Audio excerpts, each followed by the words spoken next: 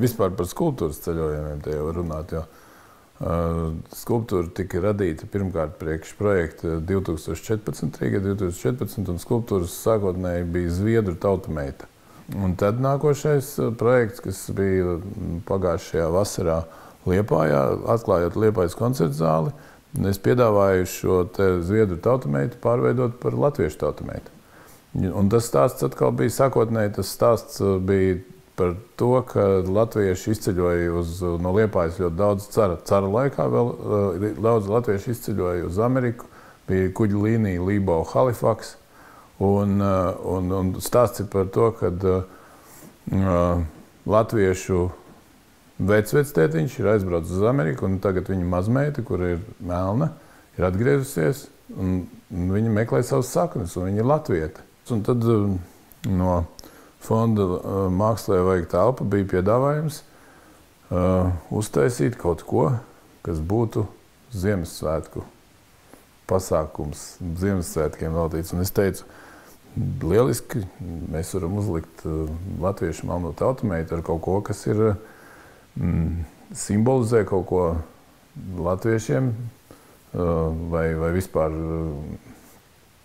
kristīgajai tai kultūrai. Un, un, un, un tā ir Ziemassvētku eglīte, un tagad tas būs zaķis lieldiena. Tas ir rīktīgi, var teikt, mūsdienu tehnoloģiju produkts, ka tādu, tādus lielus objektus var radīt salīdzinot uh, nedārgi, jo tas ir putuplasta forma, un tad tas tiek uh, ar, ar, es domāju, tas polikarbonāts, poliuretāns, poliuretāns, kas tiek uzpūsts viņam virsū, lai izveidotu to aizsargu kārtu. Tas ir vispār kaut kādu pēdējo 10, 15 gadu nu, amerikāņu zinātnieku sasniegums. Ja? Un, uh, viņš ir praktiski, man liekas, ķīmiski viņš ir mūžīgs. Melnā latviešu tautumēta tiešām gan tajā Liepājā, gan arī Rīgā. Rīgā varbūt viņi nebija tik aktīvi, nenolasījās, tāpēc, ka tā egla mazliet priekšā. Un tur tā, tā kad kāds ierauga, kāds neierauga, Bet vispār cilvēki ļoti satrauc tas, kas, kā, kā tu mainies un kas, kas tad ir tas, uh,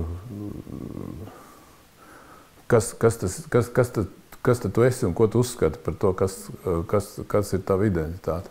Un man liekas, tie, tie, teiksim, tie simboli, tā pati Ziemassvētku eglīte, tas pats zaķis, viņi tiek uzskatīti par tādiem nu, pamatīgiem mm, latviešu simboliem. Bet, ja tā paskatās kultūra vēsturiski, viņi ir iedibinājušies samērā nesen. Tie paši tautas tērpi, viņi taču arī ir veidojušies samērā nesen, ja tā nu, papēta.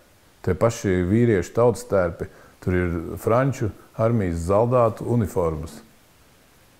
Vienkārši karš gāja pāri, zaldāti pakrita, viņiem novilka uniformas, uzvilka zemnieciņu virsū, pēc tam šuva pēc tā parauga, jo tas bija skaisti.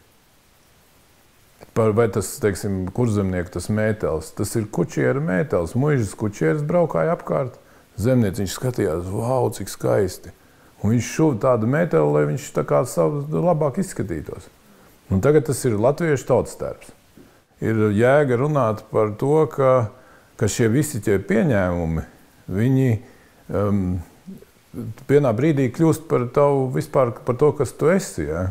Un, un kādā brīdī šie tev, tev, tev viņi apdraud, un kādā brīdī jau tu esi ar viņiem tā sadzīvojies, ka tu, tu vispār neiedomājies. neiedomājies, ka tas ir kādreiz ienācis svešs, jā, ka tas ir bijis svešs un kur tas ir sācies. Jā. Un ka šīs lietas, man liekas, ir vērts par viņām runāt noteikti. Jā. Tādas vienkāršas lietas par, par to, kā mēs uzbūvējam savu identitāti un kā mēs kaut kādā brīdī varbūt baidamies no kaut kādām pārmaiņām un uzskatām viņus par nepieņemamām. Un man liekas, ka ir, ir, ir, ir mazliet jāspēj varbūt paskatīties no malas uz to savu to identitāti un no kā tu baidies un, un kas jau tu esi. Mm. Māksla vienmēr ir daļēji pildījusi šo te kodu ražošanas uh, funkciju. Ja? Jautājums, kāpēc eh, laikmatīgā māksla bieži vien paliek tik neustverama, ir tieši tāds, ka viņas uzdevums ir būt neustveramai.